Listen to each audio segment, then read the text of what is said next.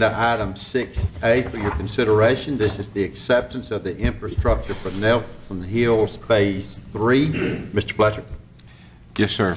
What you have before you is the Nelson Hill subdivision, Phase 3, which is located off of Clyattstone Road. This is the final phase of the subdivision. This will take us up to about 400 lots. Um, The punch list is complete, and items are being addressed currently. Uh, The engineering staff will not uh, sign the final plat until all of the paperwork and items on the punch list are received.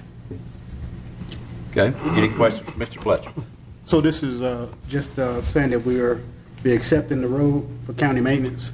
Yes, sir, that's correct. That will be the county roads, uh, water and sewer, and the storm drain.